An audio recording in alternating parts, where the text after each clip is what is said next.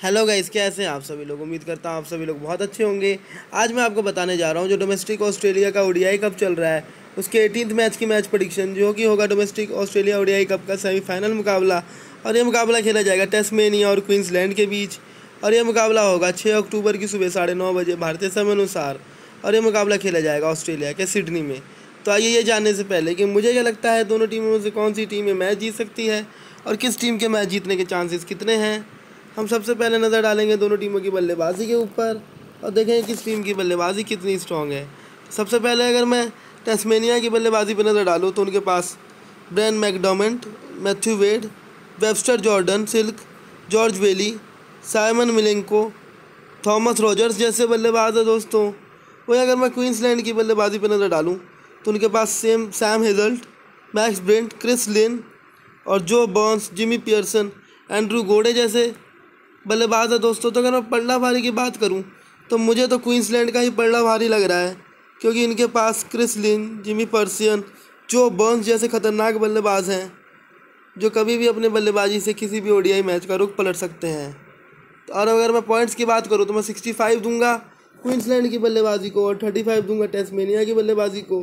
अब ये दोनों टीमों की गेंदबाजी पर नज़र डालते हैं और देखते हैं किस टीम की गेंदबाजी कितनी स्ट्रॉन्ग है। सबसे पहले अगर मैं क्वींसलैंड की गेंदबाजी पर नज़र डालूँ तो उनके पास Billy Stanlake, Lachlan Pfeffer, Sam Truloff, Jack Wilders जैसे गेंदबाज हैं दोस्तों, और मिचल सेप्सन जैसे गेंदबाज हैं।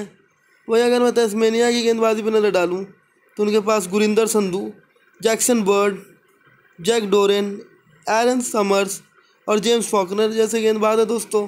तो अगर मैं पल्ला भारी की बात करूँ तो मुझे गेंदबाजी में तो तस्मेनिया का पल्ला भारी लग रहा है, क्योंकि उनके पास जैक्सन बर्ड और जेम्स फोकनर जैसे गेंदबाज है दोस्तों। वही अगर मैं पॉइंट्स की बात करूँ तो मैं सिक्सटी दूँगा तस्मेनिया की गेंदबाजी को और फोर्टी दूँगा क्वींसलैंड की गेंदबाजी को।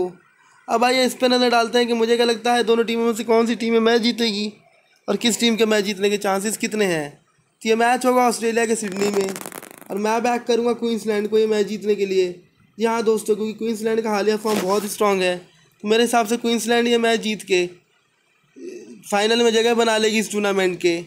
और अगर मैं पॉइंट्स की बात करूँ और चांसेस की बात करूँ तो मेरे हिसाब से सेवेंटी परसेंट चांसेस है क्वींसलैंड के मैच जीतने के और थर्टी परसेंट चांसेस है टेस्टमेनिया के मैच जीतने के।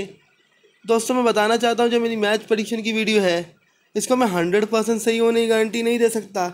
इसको मैं ninety to ninety five percent सही होने की गारंटी दे सकता हूँ। अगर आप लोगों को लगता है ये मैच क्वींसलैंड नहीं टेस्मेनिया जीतेगी तो आप तस्मेनिया के साथ जा सकते हैं। उम्मीद करता हूँ दोस्तों आपको वीडियो पसंद आई होगी। अगर पसंद आई तो प्लीज़ मेरे चैनल को ज़्यादा से ज़्यादा सब्सक्राइब करें, क्योंकि मैं ऐसी मैच परीक्षण की वीडियो आपके लाता रहूँगा, जो इन दी एंड आपको मैच प्रिडिक्ट करने में हेल्प करेगी। Okay guys till the next video enjoy life